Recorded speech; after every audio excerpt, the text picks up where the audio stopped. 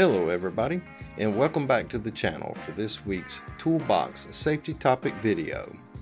Before we get started make sure that you give me a thumbs up down below here to encourage me to make more videos of this type. Also subscribe to my YouTube channel where you'll find additional videos of this nature, other safety related videos, and leadership training videos. And if you find this video useful or helpful, be sure and share it with your friends, colleagues, and co-workers. Well, let's go ahead and get started with this week's Toolbox Safety Topic video. The video is fall protection and using guardrails. Falls continue to be the number one killer in construction in the U.S. These are tragic because they are preventable. The Occupational Safety and Health Administration, or OSHA, requires that you are protected from falling from exposed sides or edges and from falling objects in the work area that are six feet above lower levels in construction and four feet in general industry. A 15 foot perimeter must be maintained on any roof or leading edge. Now this protection can be in the form of guardrails, personal fall arrest systems, or safety nets. Almost all construction sites have unprotected wall openings and exposed sides and edges at some point during construction or demolition. For these openings, guardrails are the preferred method because they protect workers below from falling objects and workers on the elevated work area from falling off.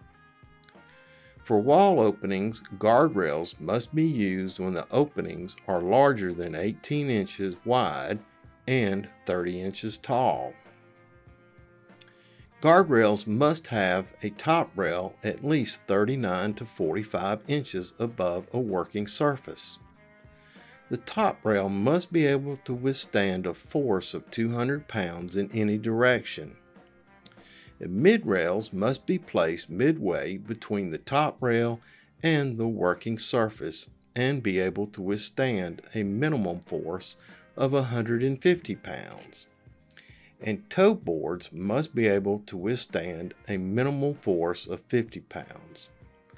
Also, screens, mesh, or toe boards must be used if there's the possibility of items falling over the edge.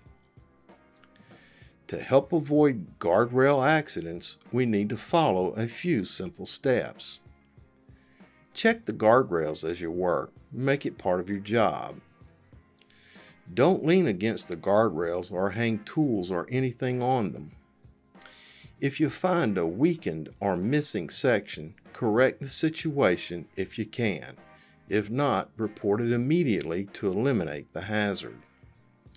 If you bump into a guardrail with material or equipment, check it immediately to see if you've damaged or weakened it. Now guardrails come in a whole bunch of fashions. You can have built, I'll show you some pictures here.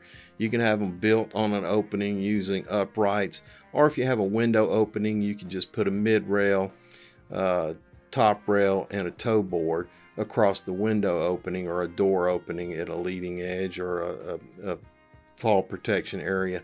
You can do all kinds of configurations, but the main thing is that it prevents anybody from uh, going over the edge. And, and remember, uh, top rail, mid rail, and toe board, and uh, it must be adequately adequate, adequately. and adequately secured. Try and say that fast three times. Anyway, make sure they're adequately secured. And uh, top rail, once again, must be able to support 200 pounds in any direction. Mid rail, 150 pounds in any direction. And the toe board must be able to support 50 pounds. Anyway, that's it for this week's Toolbox Safety Topic video. Thanks for watching and thanks for stopping by make sure you give me a thumbs up down below here to encourage me to make more videos of this type. Also, subscribe to my YouTube channel where you'll find additional videos of this nature, other safety related videos, and leadership training videos. And if you found the information useful or helpful, make sure you share it with your colleagues and coworkers. Anyway, until we see each other again, take care of yourself because you're number one. Look out for your coworkers and help ensure their safety. Have a grateful day. And remember, I will see you in the field.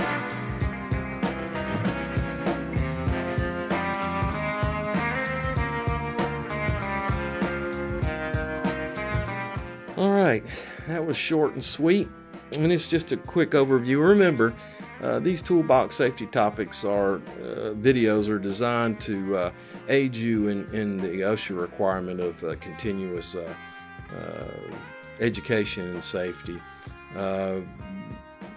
If you're going to use them in that fashion, make sure that you have a sign-in sheet and the sign-in sheet references this video. Make sure you date it, have everybody sign it to signify that they watched the video.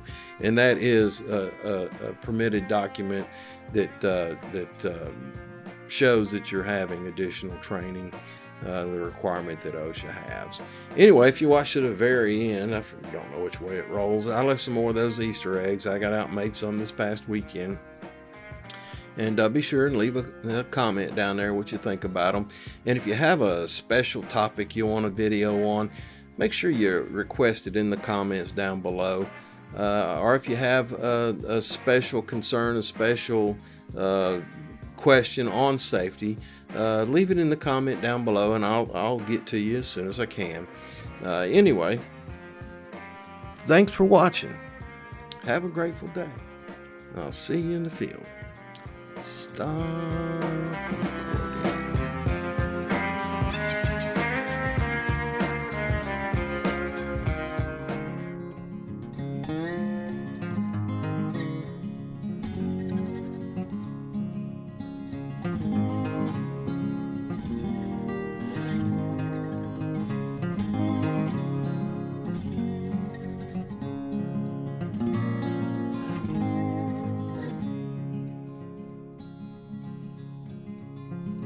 You